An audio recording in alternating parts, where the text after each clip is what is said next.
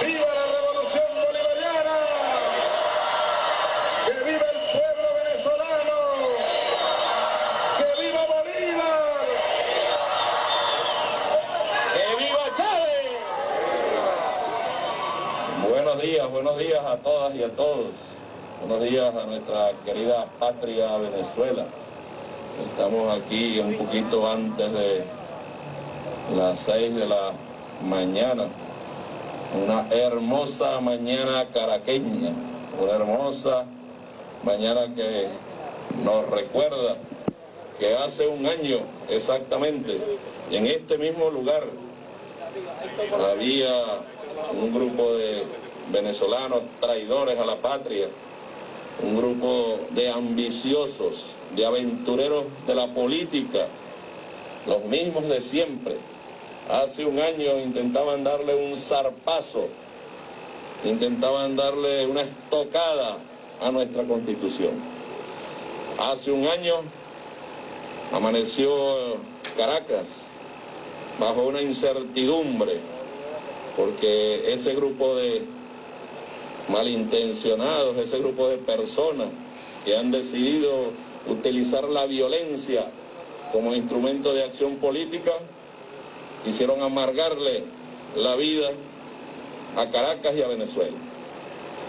Y se instalaron aquí, en este mismo lugar, desde las 4 de la mañana, aproximadamente llegaron ellos, y desde las 4 de la mañana recibimos nosotros la primera llamada del compañero ministro Néstor Reverol, alertándonos de lo que estaba ocurriendo. Y no habían pasado dos minutos, llamó al general Estrada, para entonces comandante de zona de la Guardia Nacional. Luego llamamos al presidente, ya el presidente estaba al tanto de lo que estaba ocurriendo, con mucha incertidumbre aún Solo sabíamos que un grupo de gente armada se había venido a el distribuidor Altamira con intenciones de efectuar acciones violentas para atentar contra la tranquilidad y la vida democrática de nuestra patria. Habría, había que comenzar a investigar quiénes eran los complotados, los traidores, quiénes eran los mercenarios y comenzaron a surgir nombres y comenzaron a surgir dudas. Hablamos con el comandante, con el general en jefe Suárez Churio, con Padrino, con el general, mayor general, actual comandante del ejército, Rodríguez Cabello. Y comenzó una operación interna, primero de ver quiénes eran los que estaban al frente de esta operación y surgieron inmediatamente los nombres de los mismos irresponsables de la política, los, los nombres de las familias acomodadas y comenzaron los mensajes de ellos a celebrar la nada, a celebrar que estaban aquí en este sitio y que estaban jugando a dar un golpe de Estado. En cualquier otro país del mundo, y esto es importante recordarlo, esa acción hubiese significado de manera inmediata, respuesta inmediata,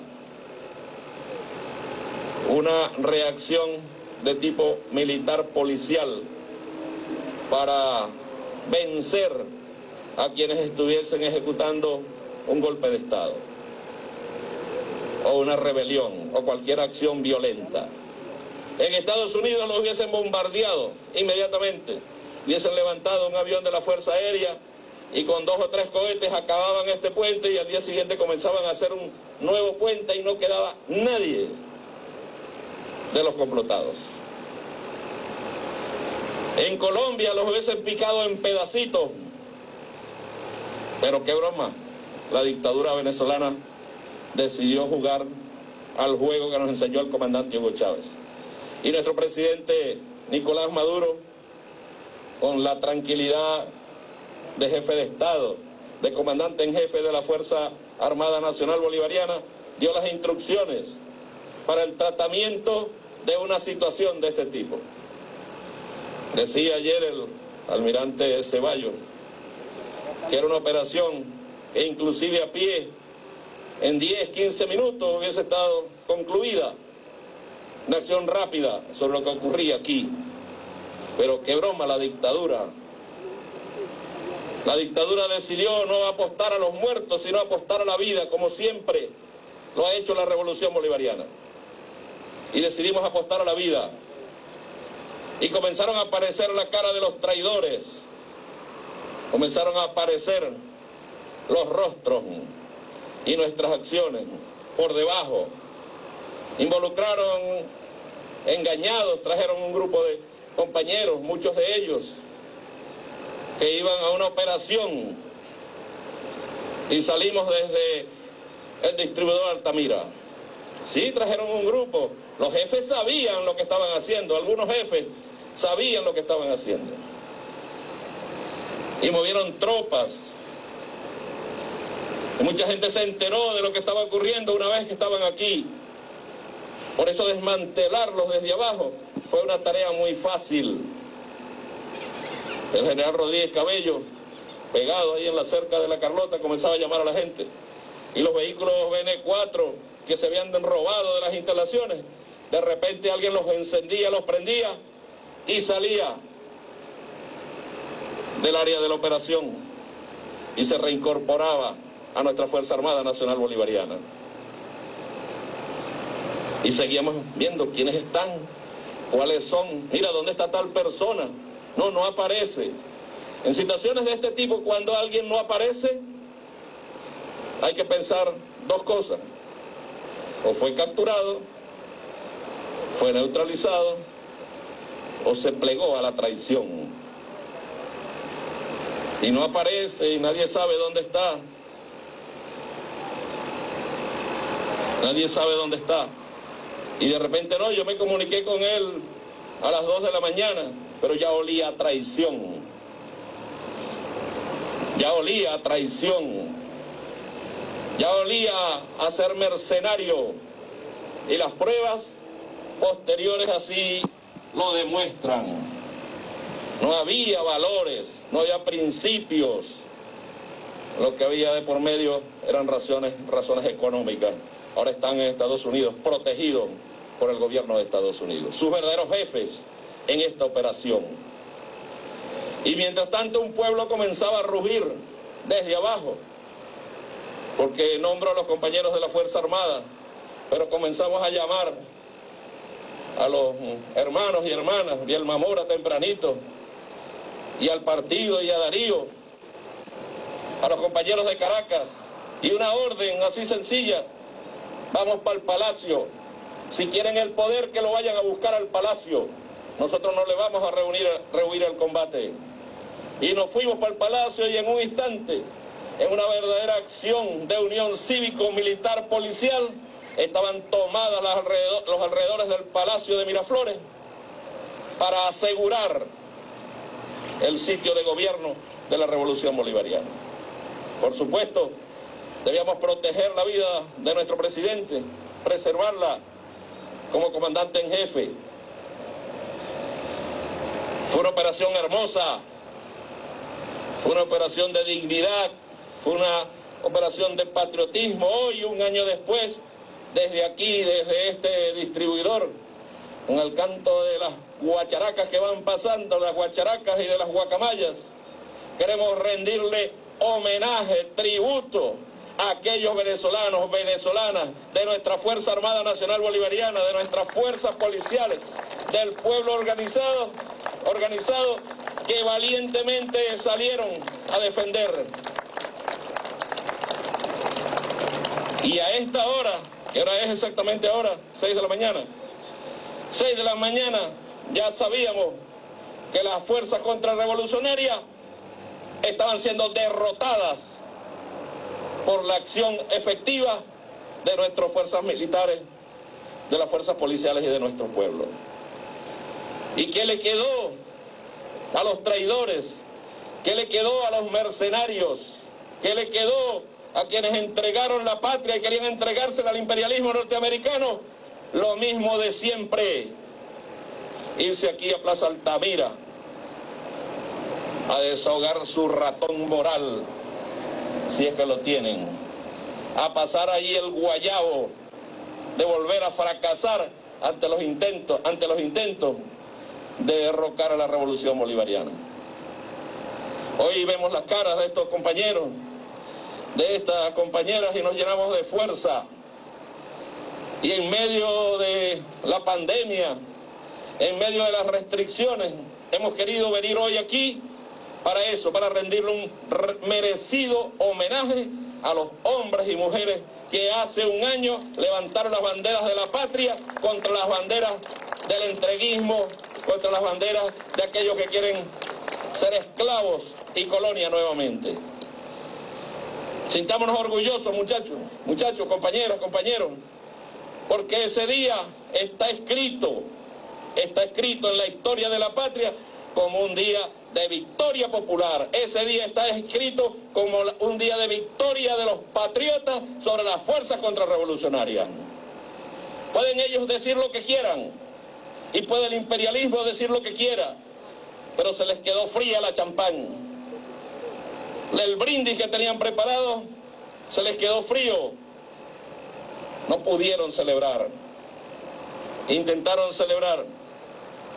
Intentaron hacer ver al mundo. Y desde aquí dijeron, desde este distribuidor que estaba tomada la Carlota, jamás pusieron un pie en la Carlota en nuestra base militar.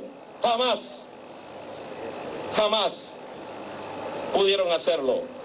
Y desde Estados Unidos los grandes medios, ahora sí cayó Maduro. Ahora sí. Y mientras eso ocurría, más gente llegaba al Palacio de Miraflores. Y mientras eso ocurría, toda Venezuela se levantaba en alerta, algunos pueblos y algunos estados sin saber lo que estaba ocurriendo, pero preparados para el combate. Qué hermoso es ser militante de una revolución. Qué hermoso es vivir estos momentos y son las enseñanzas del comandante Hugo Chávez. Defender lo que creemos.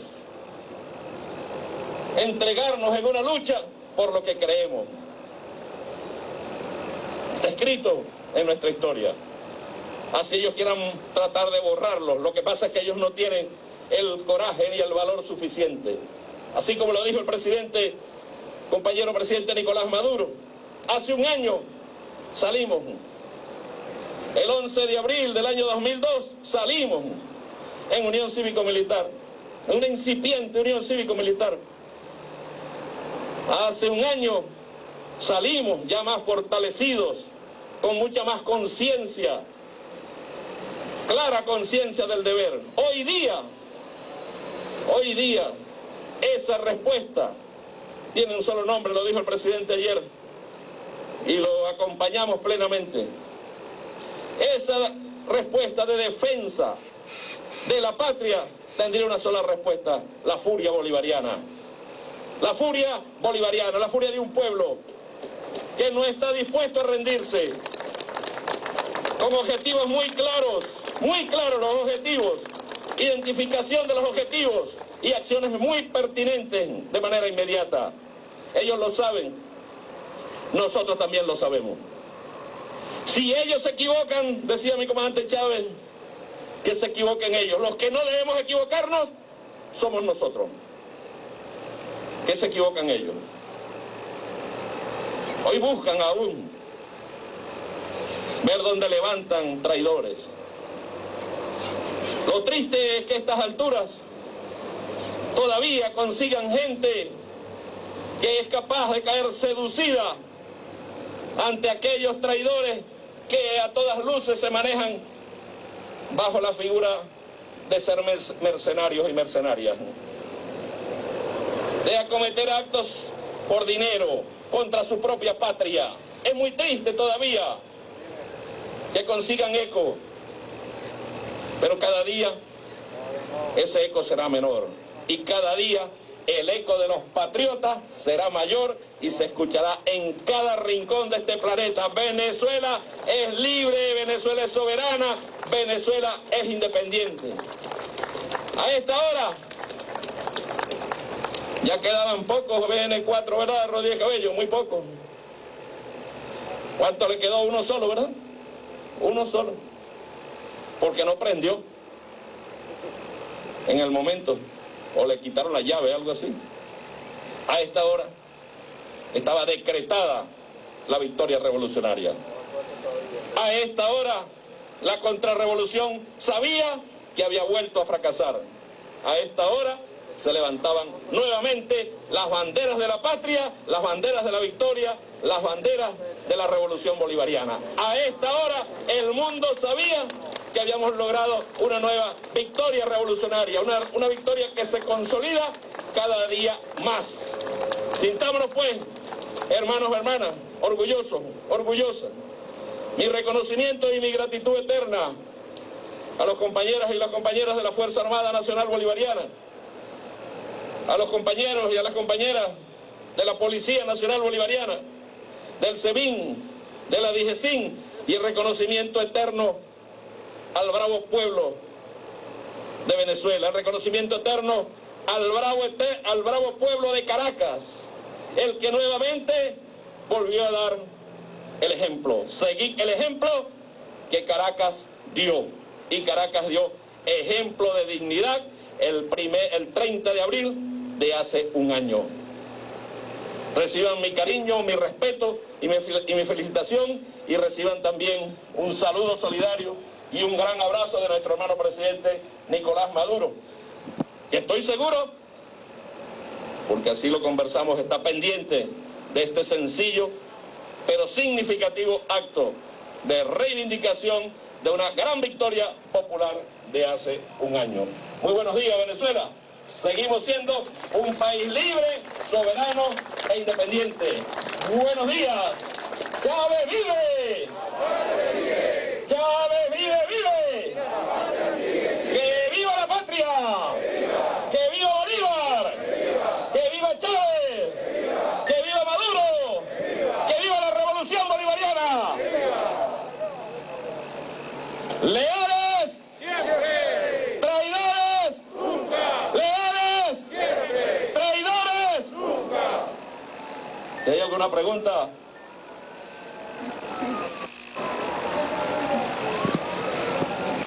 Permiso, por favor. Gracias. La paz no se construye en un solo día.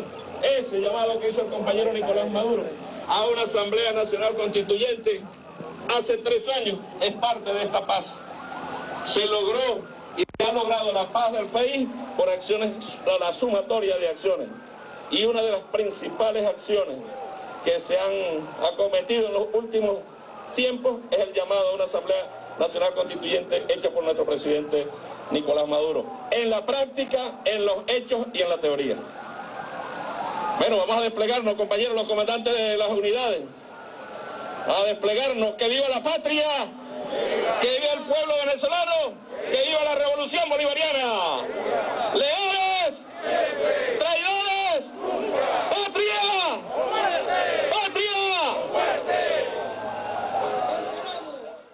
En lo que ha ocurrido en vivo y directo, exactamente en ese epicentro que hace 12 meses, un 30 de abril del año 2019, iniciaba un golpe de Estado fallido por factores contrarrevolucionarios, aspirando a llegar al poder con todo lo que tiene que ver los lineamientos de los Estados Unidos. En ese mismo epicentro hoy está el vicepresidente del Partido Socialista Unido de Venezuela en compañía en la Unión Cívico-Militar, diferentes autoridades para declarar a Venezuela totalmente libre del imperialismo y sobre todo el desarrollo de cada una de las líneas estratégicas en defensa de esa gran victoria popular.